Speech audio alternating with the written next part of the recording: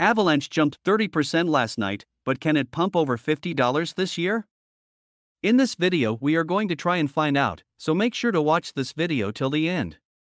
So, guys, at the time of this recording, Avalanche is trading at $15.41. Last night it pumped suddenly from $12.42 to around $16. The sudden pump was due to Avalanche announced its partnership with Amazon. Now you have to understand that this is not a small thing. With this partnership, Avalanche can help customers deploy custom offerings linked to over 100,000 partners spread across 150 countries. This partnership will help scale blockchain adoption among many enterprises, government organizations, and other institutions. Not only this individuals will find it much easier to launch and manage nodes on Avalanche, so this will make the network more flexible for developers to work on.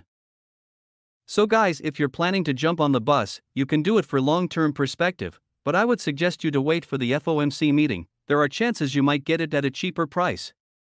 So can Avalanche cross $50 mark?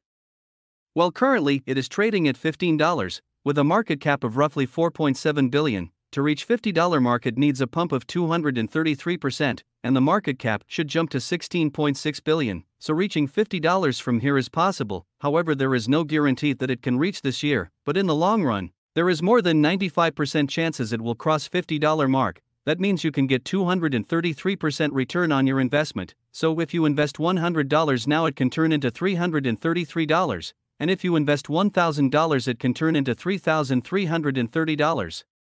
Now guys to invest in such blue chips, you need to invest more than $1000 because let's say if you invest $100 in this project, the return on your investment is not worth the value of time you invest.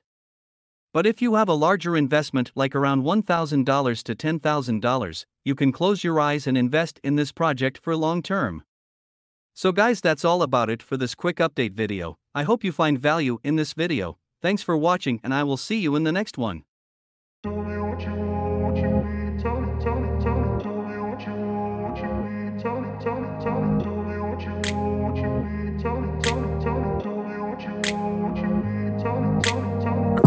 Place where they told you what to chase, told you how to run the race. Every move was on the page, but I didn't like their way. Had to fight and misbehave, had to find a way to change, had to leave to find my way. Caught up in a daydream, I beat my mind up there almost daily. It's how I pass time, no opinions safely. It's how I understand what I want in this place, see, cause everybody